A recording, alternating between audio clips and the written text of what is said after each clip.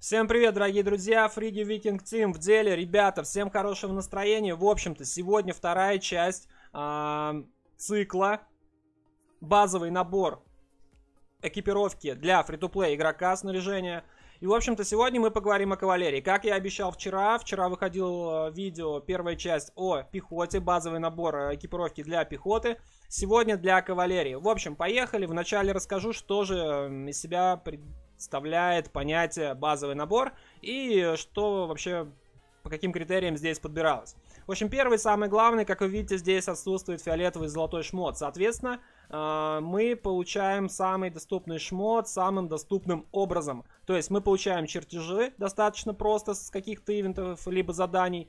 И мы получаем э, небольшое количество материалов, которые потребуются для крафта данного шмота, для данного базового набора.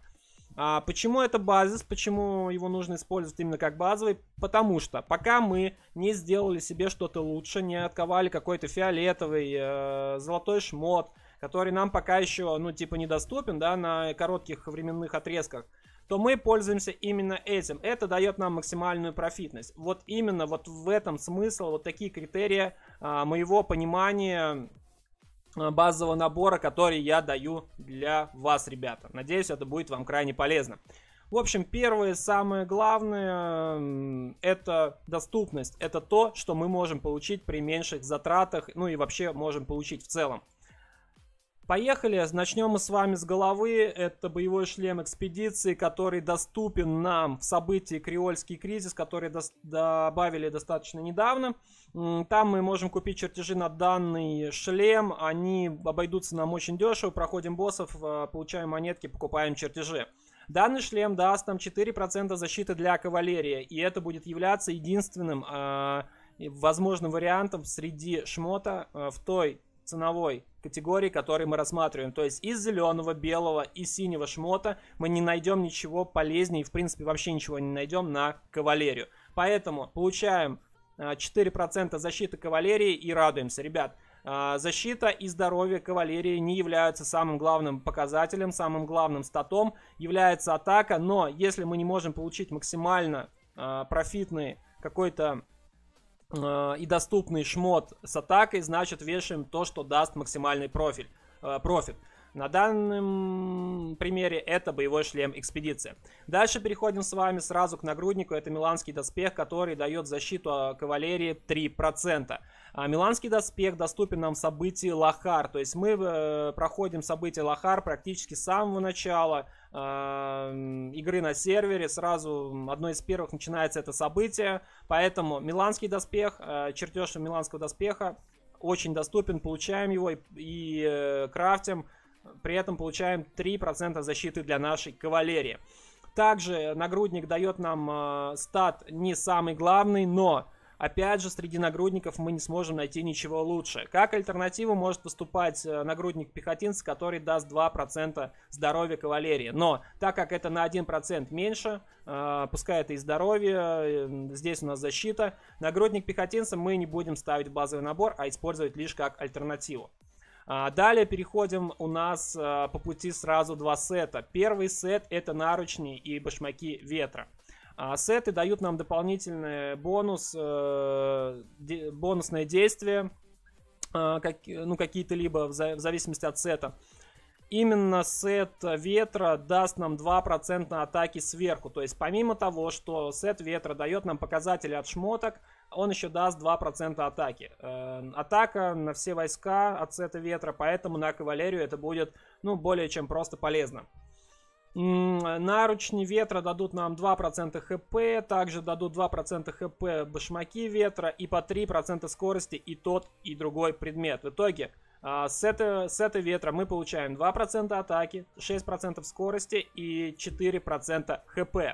Альтернатива, в принципе, есть. Э, э, сет ветра доступен нам в событии вторжения легиона, поэтому есть небольшая альтернатива, мы можем ее использовать, если не получили и не открафтили еще э, данный сет.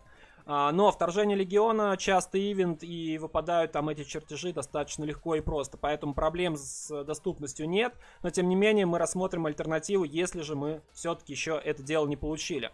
А среди башмаков альтернативой для башмаков ветра могут выступать острые ботинки, которые дадут 1% к атаке кавалерии. А, напомню, что это всего 1% и больше ничего не давать не будут. При сете ветра мы получаем 2% сверху, помимо показателей от самих ботинок. То есть 2 хп, 3 скорости. А, среди среди башмаков из нашего ценового сегмента мы больше ничего не найдем. Переходим с вами к наручням, а, то есть перчаткам.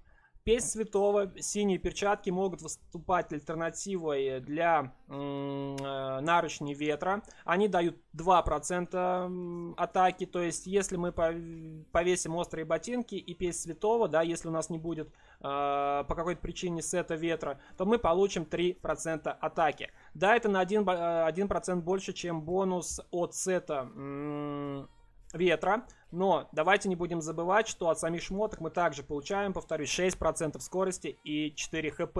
Скорость не будет являться самым главным, главным прям обстоятельством, самым полезным статом, но э, Давайте не будем забывать, что это кавалерия, а кавалерию мы также расцениваем за мобильность. Поэтому 6% скорости, да еще и кавалерия, это будет более чем просто приятно. А, больше из наручней, из перчаток мы рассматривать э, ничего не можем, потому что больше ничего не идет под кавалерию из белого, зеленого и синего шмота. А в базис мы заносим именно его.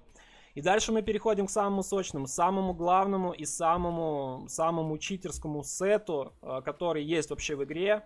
Шмоту, сету. Это э, сет авангарда. Я не знаю, чем руководствовались разработчики, когда придумывали данный сет, так как он дает слишком жирные бонусы при доступности этого сета.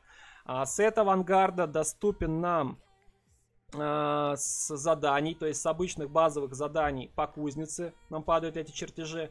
Но еще и бонусом мы можем купить э, чертежи в креольском кризисе, если нам их мало, если мы не выбили еще а, с усилением. А также напомню, что все шмотки мы можем выбить с усилением, а, перековывая просто заново. И в Креольском кризисе также можем купить за монетки. Вообще Креольский кризис после ребрейдинга стал очень интересным а, ивентом. И отчасти также относится к ивенту, где мы можем получить нужные чертежи для наших командосов. В общем, сет авангарда на Алибарде дает нам 5 защиты и 4 хп, и все это под кавалерию. Ребят, это просто все под кавалерию. А, оба показателя и защиты и здоровья прописаны как показатель плюсом а, кавалерия. На поножных авангарда мы получаем аж 4% атаки, что является просто весьма жирно, э, если рассмотреть, сколько стоит нам по крафту и по времени именно авангард, именно этот сет, то 4% от понужной для атаки, это наш любимый, самый главный стат для кавалерии, то, ну, типа, ребят, это действительно очень жирно. Также плюсом еще получаем 1% хп от поножной авангарда. И все это под э, каким-то безумно э, питательным соусом из 2% атаки от самого сета. Теперь, ребята, просто вдумаемся. От сета авангарда мы получаем 5% защиты, 5% а, хп и 6% атаки. Что может быть лучше? Я думаю, ничего. При такой доступности сет, сета авангарда я ставлю вообще в первое место среди базовых наборов э, шмота на free-to-play, э, для free-to-play игроков. Ни на один вид войск не может быть лучше э, предметов и тем более уж сета. Альтернативой для авангарда, ну давайте посмотрим, но я думаю, что сильно, сильно ничего мы не подберем. А, грубые штаны вместо, вместо поножной авангарда дадут нам 3% атаки, что будет просто даже меньше, чем дают а, поножные авангарда, помимо а, остальных бонусов. Дальше у нас а, ничего, ничего и ничего. То есть из поножни, поножной мы, из штанов мы не найдем ничего. А дальше перейдем к пушкам. Здесь есть кое-какие альтернативы, но опять же они достаточно, достаточно, ну, не объективны.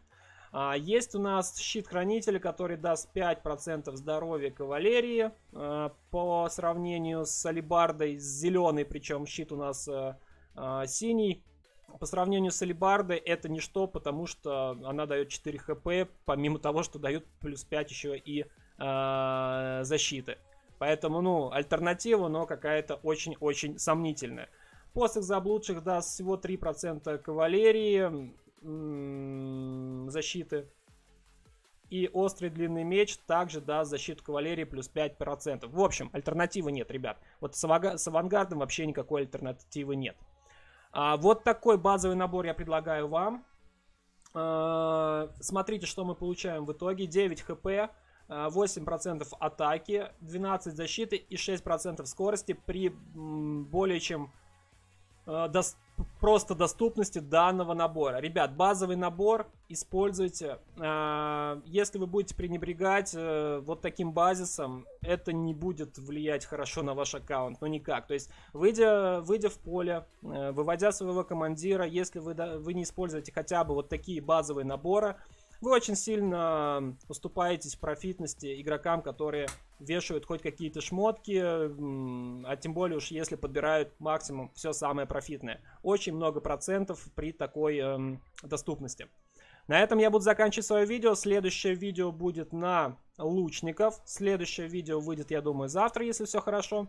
А, вам хорошего настроения, ставьте лайки, под это видео. Подписывайтесь на мой канал, пишите комментарии. Ну и спасибо вам, ребята, за, за такую огромную поддержку, которую вы оказываете.